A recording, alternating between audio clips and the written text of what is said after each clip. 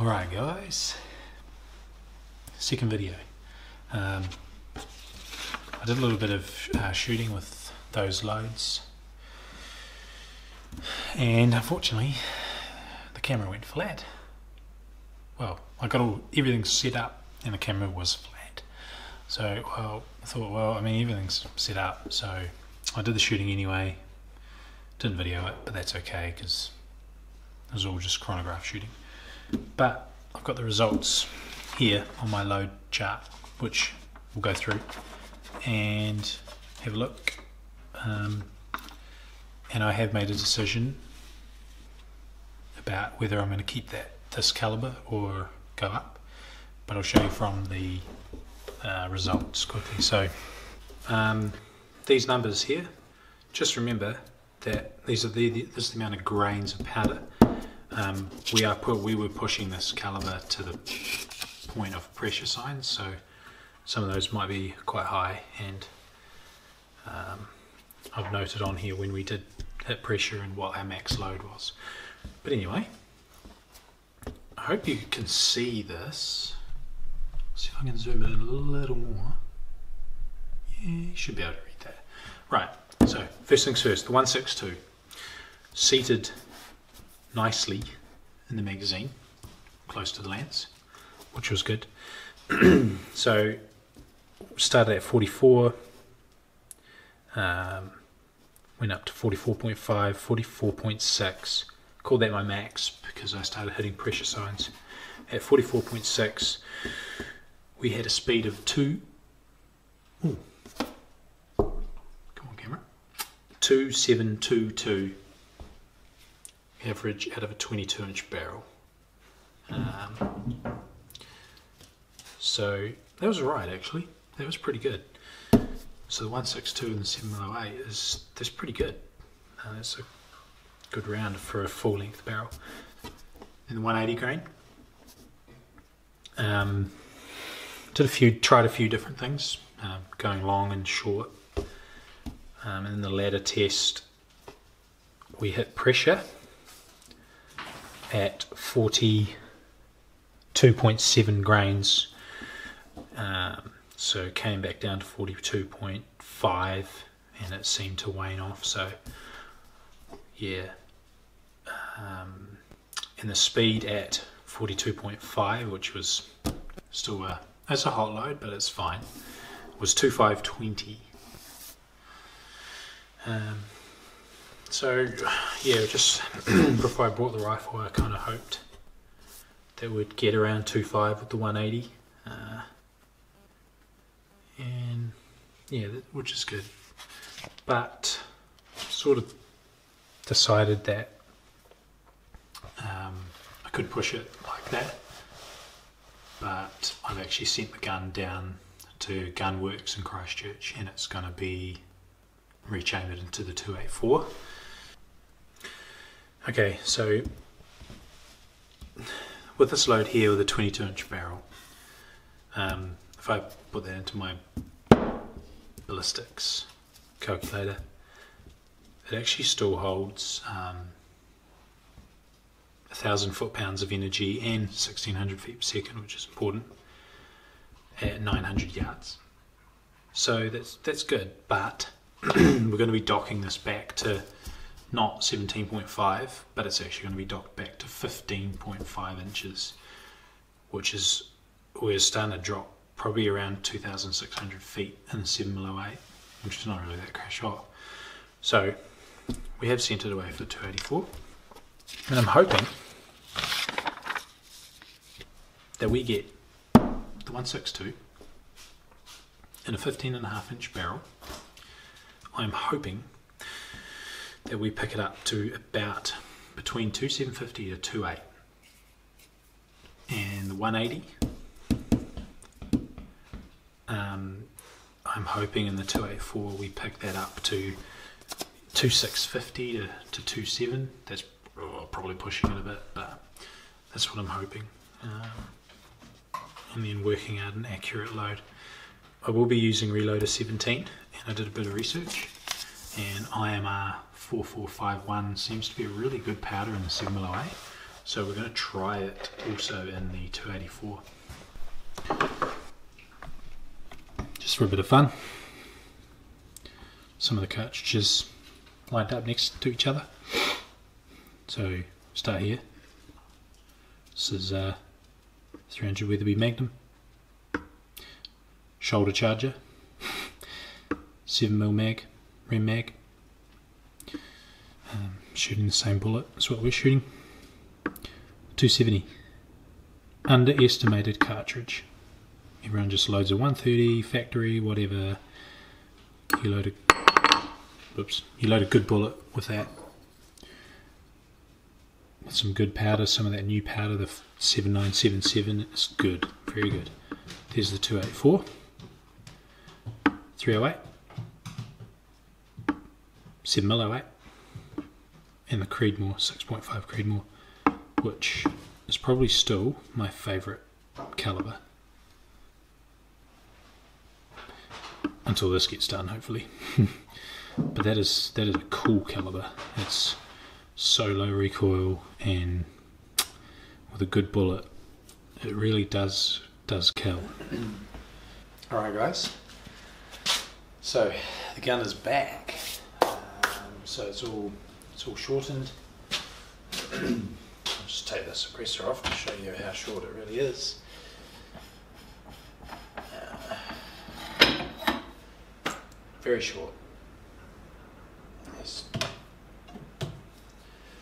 So yeah.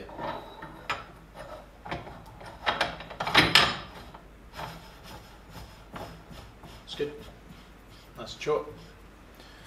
So it got obviously shortened, threaded, suppressor fitted, bolt fluted, got it engraved as well with the caliber, which I'll show you too. Um, yeah, looks really good. Uh, as well, inside the chamber, when you look in there, it's been all cleaned up too, which is good if you use a 7mm08. So if you use a 7x57, you don't you don't get that nice. Um, you don't clean the whole bore up, so it just keeps your brass a bit better too. So I'll show you the. Uh, take it in. I'll just show you the fluting and. Which is quite cool. I've never had a nicely fluted bolt before, but looks quite nice. And then on the other side, I kind of ordered this just so if I ever sell the rifle, with the with the serial number, the caliber is correct to it. But yeah, so it's back, which is cool. So we're gonna start some bedding, some bedding and some loading. So the barrel did come back at 15 and a half inches. Um, I just weighed the gun exactly how it is. And it was so with the suppressor the bipod scope um, it was 2 point, uh, 3.9 kilos. So it's not too bad. It's not super light but take the bipod off it would be a bit better. But um, no it's good. It's cool. So another reason why I personally like the short barrels is because they tend not to be as whippy um, for accuracy. I think the downside to them is that you tend not to get as many shots out of out of it because you don't have that bigger area for um, spreading the heat, the bigger surface area. Um, but I've done quite a few 308s right down to 14 inch barrels and they tend to just be more accurate simply because they're more rigid. Um, so that's kind of nice, like it's to the point where you just pick on the chart where you want for your load development, and that's usually where it will sit at half an inch group. So, so I wanted to go over the build cost because that's pretty much what determines whether you can actually do this or not. Um, and so I've written everything down, everything, just to give an honest uh, what it actually cost me. And so all up, it was two thousand two hundred and fifty dollars. Um, five hundred and fifty of that was from Gunworks, so that was to supply the dies, to flute the bolt, to engrave the caliber, to cut the barrel, and to fit the suppressor and thread the suppressor. Um, then the gun was six hundred. Scope cost me four fifty. Rings were fifty dollars. Um, bipod was forty bucks, and I got the suppressor on Trade Me, second hand for two hundred and fifty bucks. So, I work calculated if I was to do this with a Tikka, um, it would have cost me three two basically. So for me, that's yeah, um, that's a saving. It's worth it for me now. The only difference between this and the Tikka will be that the they had to cut it with a short throat reamer because the magazine was simply not long as long as a long action. Um, so picking, I, I don't really know what we'll lose for capacity and velocity and all that. Um, but I don't think it, sh- it shouldn't be too bad. Like uh, my 270 that I've got over there, um, that runs a compressed load, and it I prefer having the bullet seated onto the powder anyway, um, and it seems to shoot quickly and fine. So we'll see how we go. Right, first shot. I've cleaned the barrel. Put the first shot is uh, 162 ELD ladder testing. Uh, so we'll see how we go with this for velocity.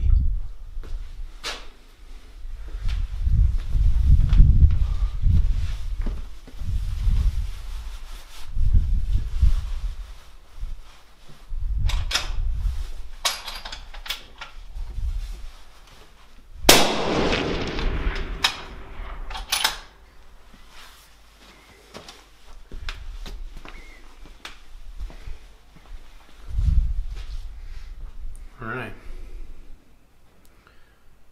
So there's our first load. 2473. Absolutely no pressure signs whatsoever.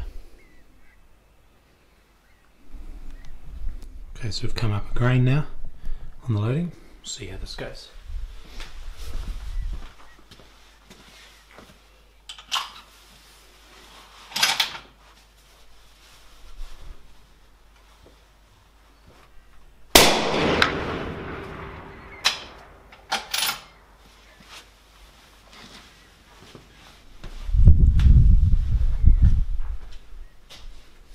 Alright, and we hit pressure there. So that was sticky bolt and primer pressure. So that's um, too hot for this temperature. So we'll put the two, two 180 grains through it. Ah, sorry. See how we go. Speed. I'll just drop that down a bit. Probably let that cool down first though. Right, one 180 grain. First shot.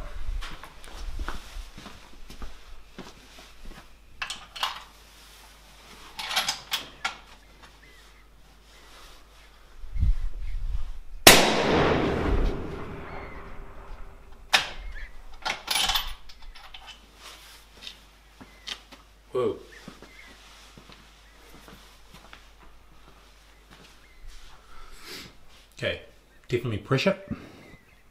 Definitely pressure. Pressure signs there. So we'll not be going higher than that. Alrighty, so here are the results of our ladder test. Um,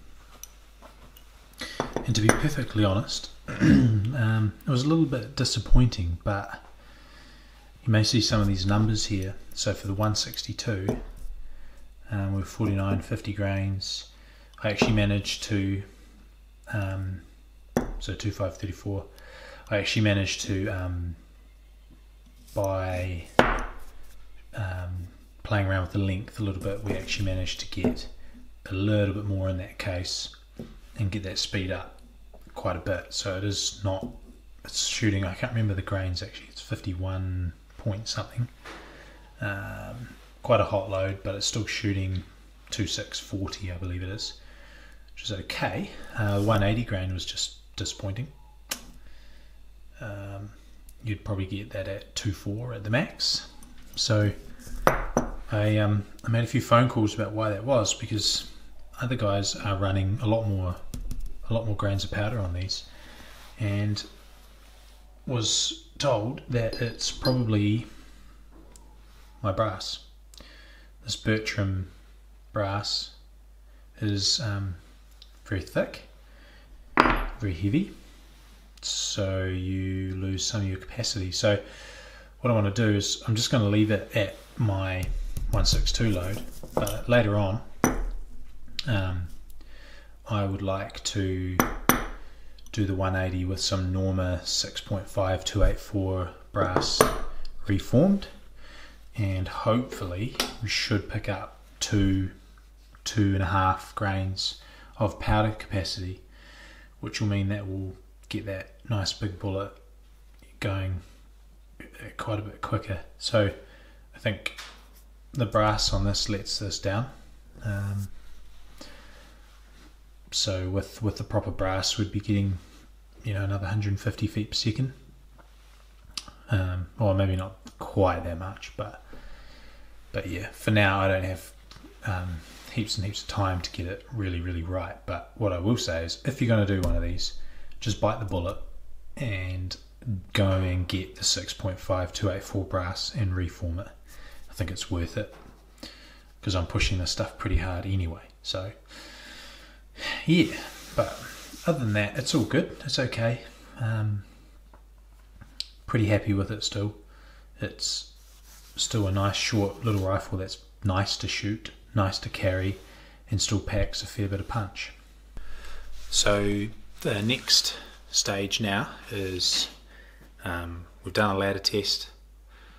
Um, we did shoot just a on the page group with our hot 162 and it did shoot under an inch so that's promising. But um, now we're going to get into bedding which is the final part of accurizing the thing. Um, and so I've got that. We'll do those videos fairly clear just so get your head around what bedding requires and yeah so we'll get into that. Um, and then start shooting groups. So we found our max loads. We don't want to go any hotter than those at all. Um, you wouldn't want to turn up to a uh, competition with these loads either, the hunting loads. So two, three shots. That's it. Otherwise, you start cooking, cooking some pretty high pressure. So, yeah, we'll get into the bedding um, and see if we can pull that group tighter. Yeah. Alrighty, guys. Uh, bedding, bedding job time. I really enjoy this, so I just take my time though. You're not trying to win any races with it. Um, so for it, we'll be because we talked about in the first video with this trigger guard thing in here with the pillar to pillar. We're not going to bed any of the um, back of the action. So what we're going to do is bed the recoil lug here back to the magazine. And then we're also going to come forward probably an inch and a half um, and just bed that whole barrel locking nut there and everything. Just so we get a nice platform that the rifle can sit in nice and tight. So we'll get into it. Tonight we'll be just prepping the stock with a Dremel and yeah another night I'll pour the compound in and show you how to do that.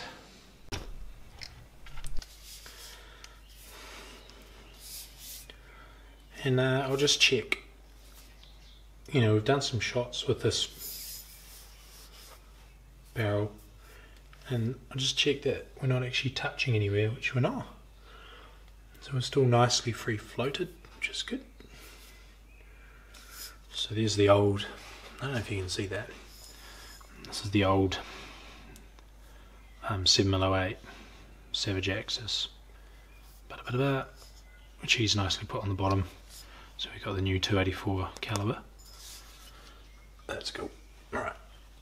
Lay that aside. Drop, drop our mag out.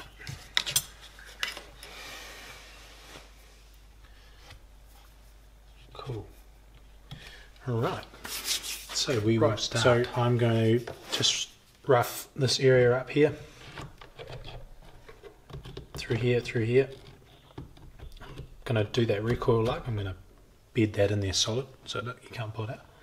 And then I'm gonna rough all this edge up in here.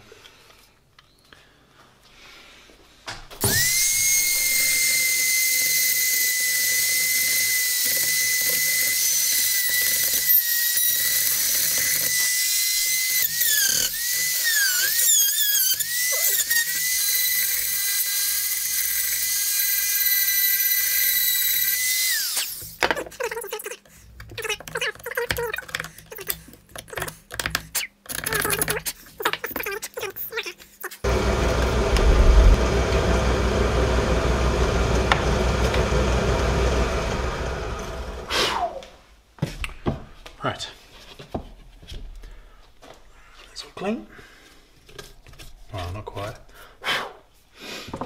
But yeah, you get the point. Um, I've also drilled some holes in here just to. Because I'm a builder and I might like to make footings that key in. but yeah, I'll keep cleaning this area, these areas up till there's no sort of bits that stick out. And then that is pretty well ready to go. We'll give it a degrease as well, just so it binds as best as we can.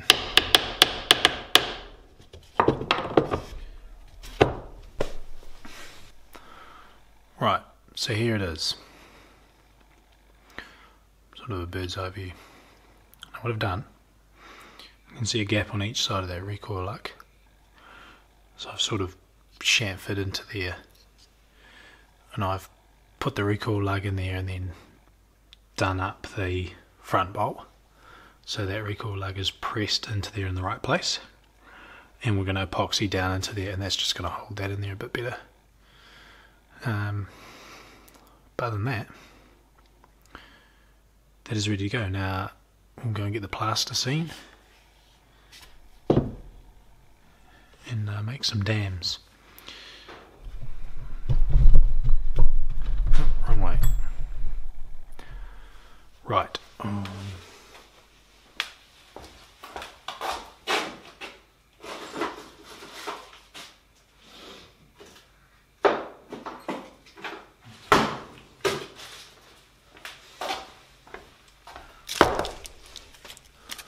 so in these kits you get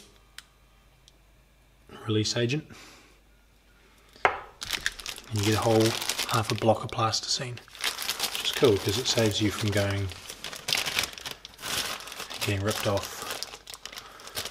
from some warehouse stationery or something like that so what we're doing here is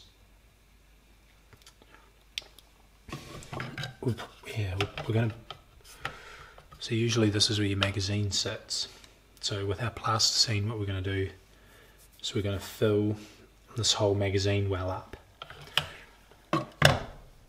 And as well as we're going to put a dam in the front, just up here, will kind of neatly finish off um, where we want our bedding to end. And so I'll do that one first. I usually just get my plasticine roll kind of a thin um, thin little bit long thin like that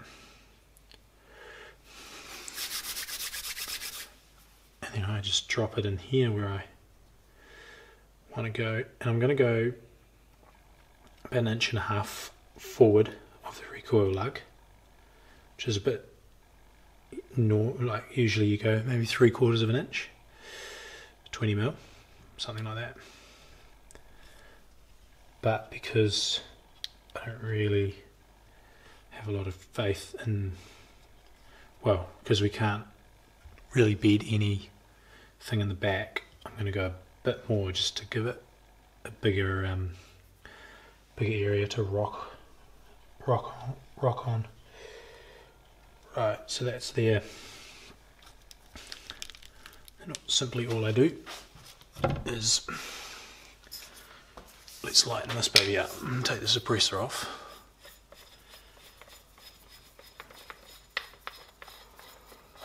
Put that in our box. Take the bolt out.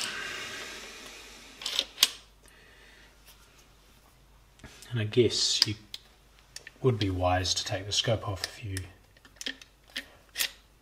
really, if it's your first time doing it or something, you don't want to. But um, sh should be alright. So the barrel feels slippery enough just to place down there now, as it is. So we're just simply placing the rifle in there, and then just giving that a good old squeeze. Right, so there we've set the height for that dam to the to the barrel, but we don't quite have a good enough bridge, so I'll just roll a tiny sliver more. In, it will be just a couple of mil thick.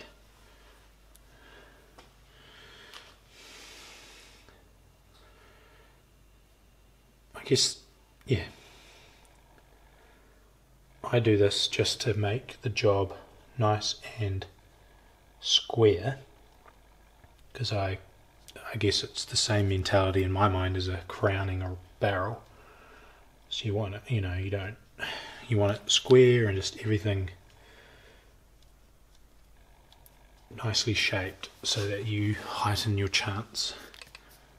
Well, chance you heighten accuracy to the maximum. Right, so I'll place that in there. Make sure we're actually in the recoil lug. Give that a good old squeeze. Okay, there's our dam, which is formed quite nicely. So, um, get a craft knife.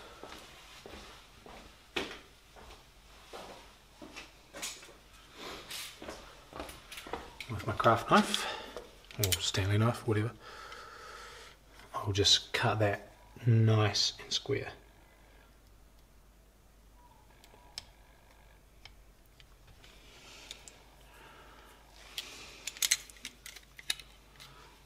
And that means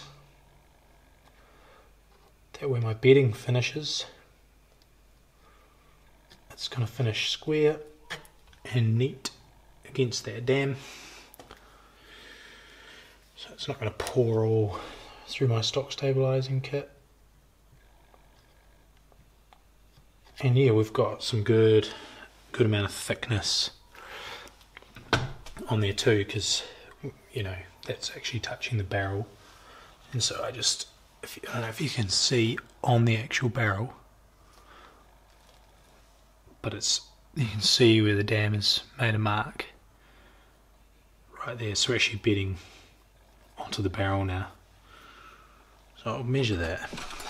So I think that's actually uh, quite far. Oh no, it's about 35 millimeters. So yeah, it's, it's just under an inch and a half. Just dropped a bit of plasticine in there. Right.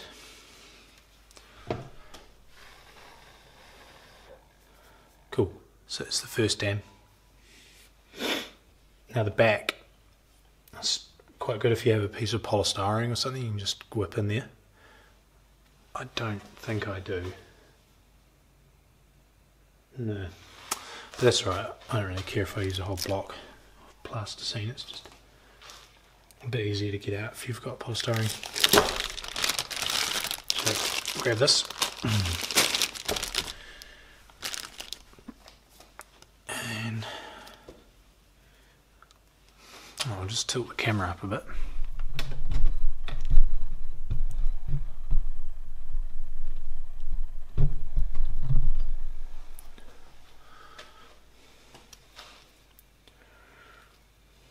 So we're not going to put.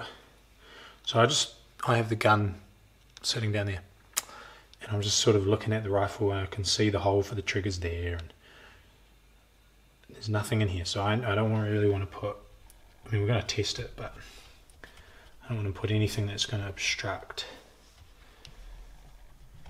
the rifle to sit in exactly how it sits in when you bolted it together.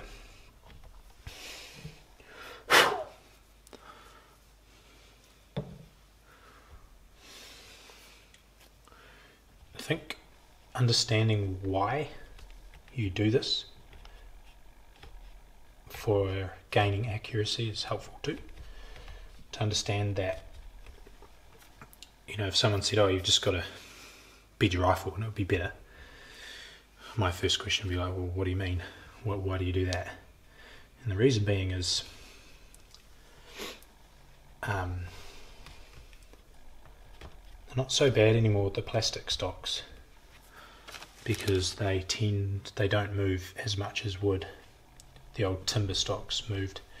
You could even bed your rifle and you could be up for a new bedding job.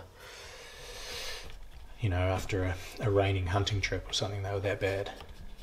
But it's just impossible to stop timber moving. But the plastic ones nowadays are pretty good. But the reason why you do it is because you're trying to create a consistent harmonic through the rifle.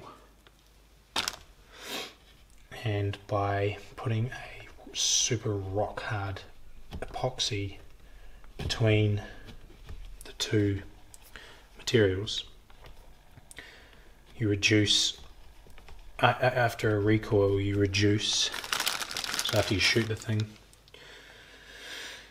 you heavily reduce the amount of movement that goes on in the in the stock between the barrel, between the action and the stock.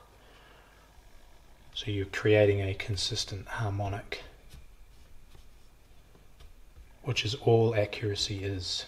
Kind of the same concept of playing a guitar, really. It's the same sort of thing.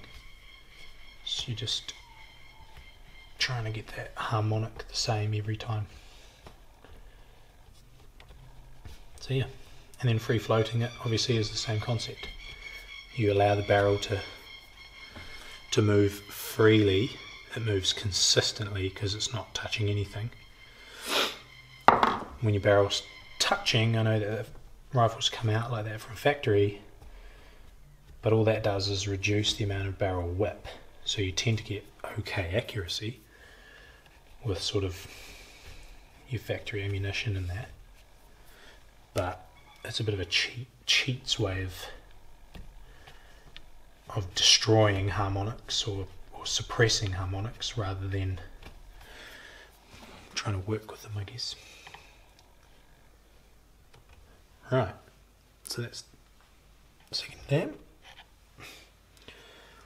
So that means that we're not going to get epoxy, or we will get a bit of epoxy. So what I've done with this dam, just to explain it. So I have hollowed out the middle as well. So in here it's quite a bit lower and then it curves up to the back part here. So I don't want any excess. From here I know that it's not going to travel forward because of that dam there. So I want it to travel out. And I want this to travel out but whatever's left I want to travel back. But what I'll do is I'll also put a little dam um, right up here going up to this other side so that if it travels out and up and that we get all of this. This whole area is is consistently touching the action so that's going to give us 95 millimeters of um, a bedding base which is good, which is what we want. Um, yeah, with this rifle, I would usually, I can't do it with this rifle, because usually a bolt is all the way back in here. But I'd usually bed the whole tang all the way back, right back past the trigger, just so my base is as good as I can possibly make it. Um,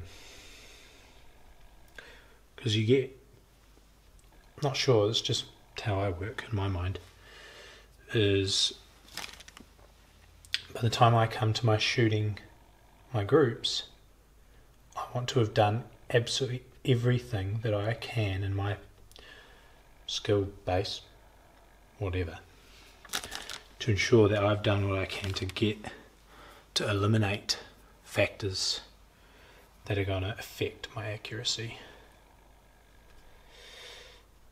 Yeah, because you might spend an extra, you know, whatever, ninety dollars doing all these things to your rifle trigger and, and um, bedding and all that sort of stuff, stock stabilizing, but you're not going to be at the range banging away ammo pointlessly, scratching your head because it happens. When it happens, it's really horrible.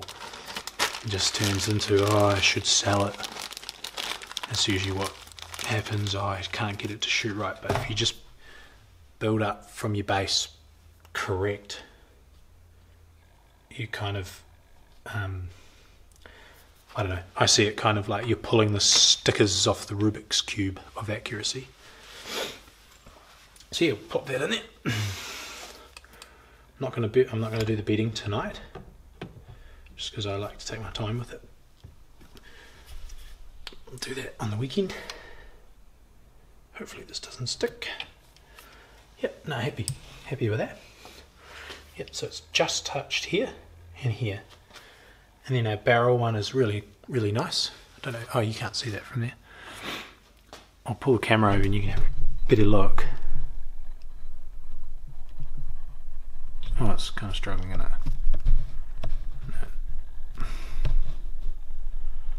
So there you have it.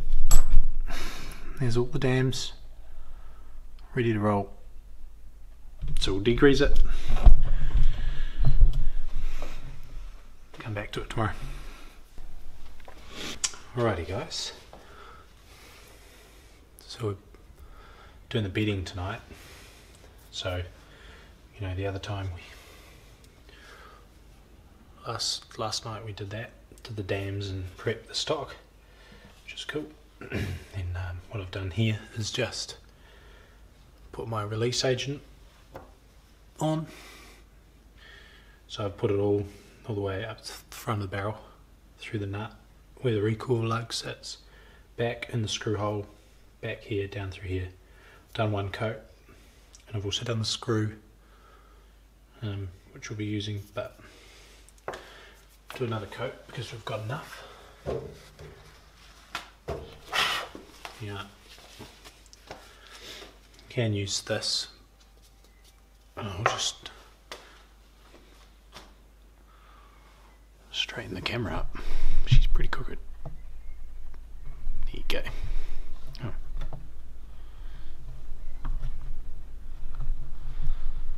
Alright.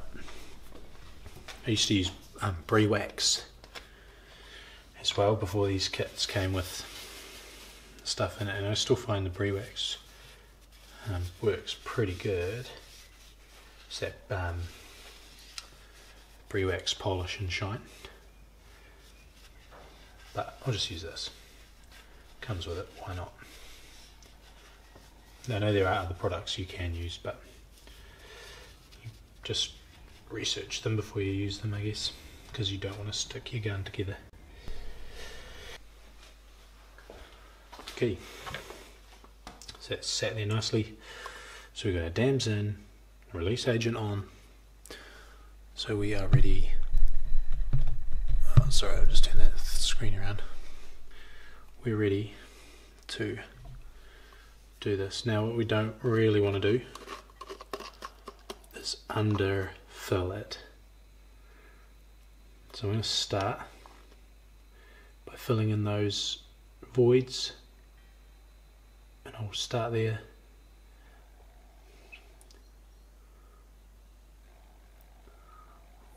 get those filled in and I'll let those actually sink in. Go around the recoil lug down into the void. Another void. Right then I'll let that sink while I fill the front in. So it's going to take the most. Want to get right up to our dam. Okay. Better off overfilling it a little bit, letting it getting a good squirt up out the sides there. Definitely then underfilling it. If you underfill it, basically you need to do it again. Don't know if you can actually see. Right, so we're pretty much we're getting there. Starting to so definitely got enough around the recoil lug.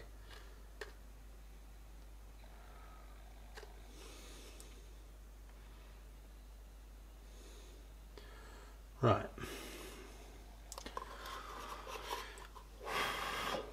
Let that sit there for a bit.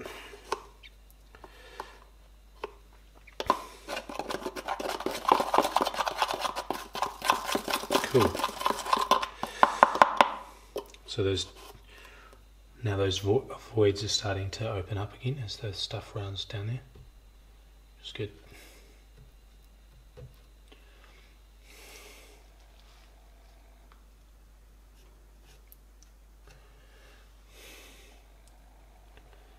Yeah, I think we're cool.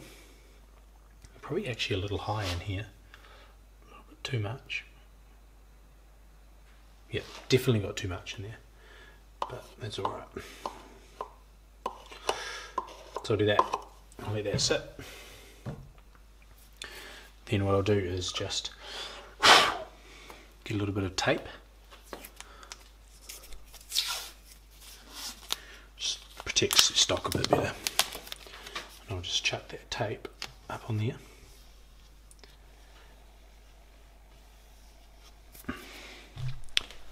Now I'll get my knife. All I'm doing is just slicing right. Oh, come on. Actually, you don't need to do there. Slicing along there.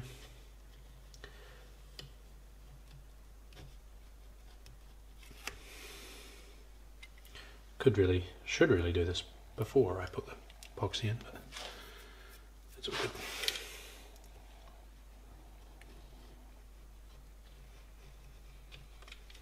protect it. So when it does spill out, it actually just spills all over the tape. So yeah, I'll do that. You get the idea. That's it, bedded down in there. So cleaned up the excess here, just flat level, just flushed it off because that is going to suck back a little bit as it dries. But happy with that. You can see that a little bit down in here is spilled back out the back out into the magazine rail, which is onto our um, uh, what do you call it?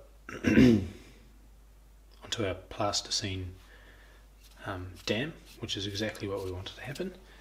Um, but yeah, no, that'll be good.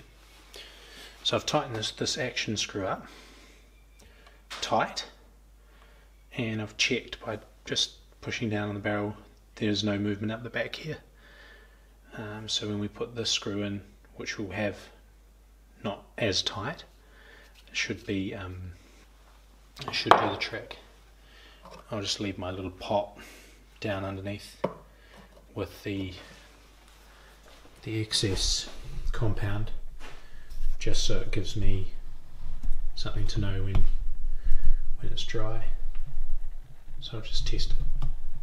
But yeah, that's it guys. Done.